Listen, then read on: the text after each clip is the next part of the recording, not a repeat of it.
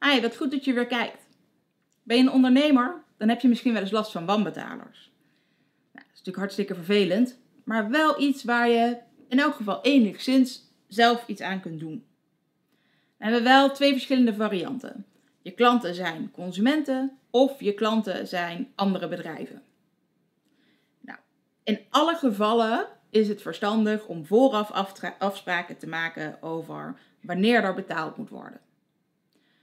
Een consument, als die een product koopt, dan mag, die, uh, mag je daar maar 50% vooruitbetaling van eisen. Maar als iemand het goed vindt om via Ideal alles vooruit te betalen, nou, is prima. Heb je nergens meer last van, heb je dus ook geen wanbetalers. Bied je nou een dienst, dan mag je ook meer vooruitbetaling vragen. Alleen vinden heel veel consumenten het wel prettig om een klein beetje vooruit te betalen en een deel bij levering of een deel achteraf. Maak duidelijke afspraken over wanneer ze dan precies moeten betalen. Ook bij bedrijven moet je dat doen. Vraag bijvoorbeeld soms ook naar een kostenplaatsnummer of andere zaken die op de factuur moeten staan om ervoor te zorgen dat je je factuur zo snel mogelijk betaald krijgt. Bespreek dan ook weer een betalingstermijn af. Misschien zijn voor jou 14 dagen heel normaal als betalingstermijn. Maar werk je met grotere bedrijven, dan moet het soms wel langs vijf personen voordat jouw factuur wordt goedgekeurd en betaald. Dus dan is vaak een betalingstermijn toch 30 dagen. Nou, dat is goed om vooraf te weten. Daardoor kan je bijvoorbeeld ervoor zorgen dat je de factuur gewoon wat eerder stuurt dan je normaal gesproken doet. Zodat je eigenlijk op hetzelfde moment betaald krijgt als je normaal gesproken ook betaald zou willen worden.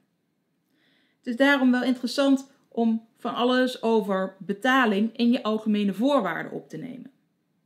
Bij consumenten geldt dat ze altijd gebonden zijn aan um, wettelijke rente en wettelijke incassokosten.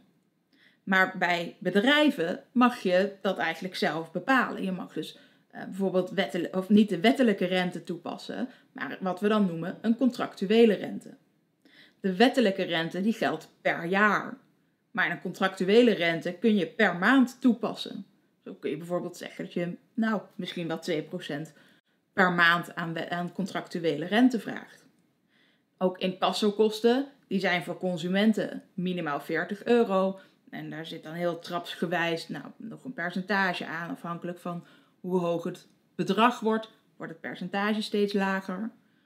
Maar bij bedrijven zou je gewoon kunnen zeggen, nou weet je, je betaalt altijd minimaal 100 euro in kassokosten uh, of 10% van de factuurwaarde.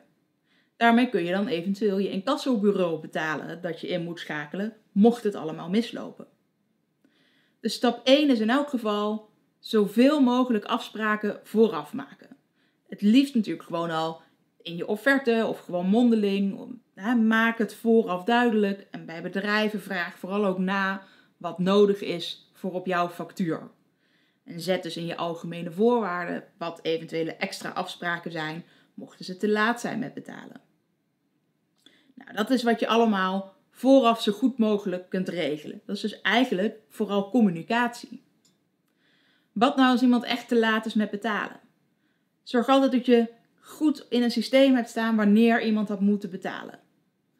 Stuur daarna, het liefst zo snel mogelijk daarna, bijvoorbeeld één of twee dagen daarna, een herinnering. En dat kan gewoon een vriendelijke herinnering zijn. Goh, misschien ben je het vergeten. Hierbij nogmaals de factuur. Wil me alsjeblieft alsnog voldoen. Bij consumenten moet je ze per se eerst 14 dagen de tijd geven om alsnog te betalen. Dat noemen we ook wel de 14 dagenbrief.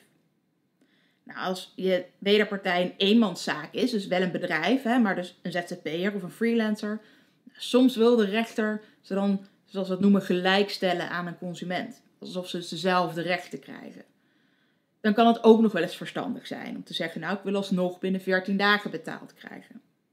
Gaat het om grotere bedrijven, dan zou je ook gewoon kunnen zeggen, ik wil dat de factuur alsnog binnen bijvoorbeeld vijf dagen of acht dagen betaald wordt. Dan kun je een kortere termijn hanteren. Het is verstandig om de eerste brief altijd gewoon wel even vriendelijk in te steken. Kan hè, brief bedoel ik natuurlijk ook gewoon e-mail mee.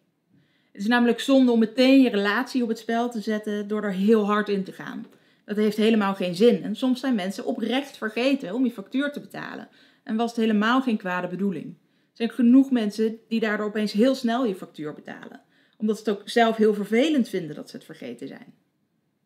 Nou, als je op zo'n e-mail nog steeds geen reactie krijgt, dan kan het soms goed zijn om gewoon even te bellen. Misschien is er wel iets aan de hand, is er een reden waarom iemand niet betaalt.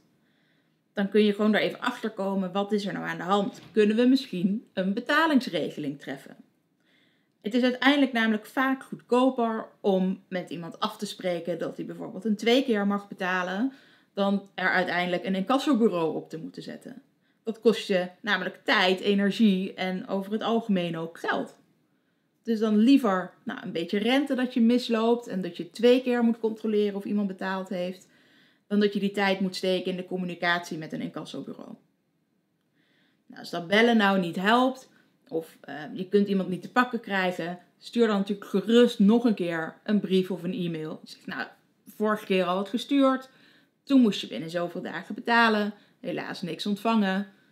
En dan stuur de brief waarbij je eigenlijk al aan gaat geven, ik ga de volgende keer incassokosten en wettelijke rente vorderen. Of contractuele rente.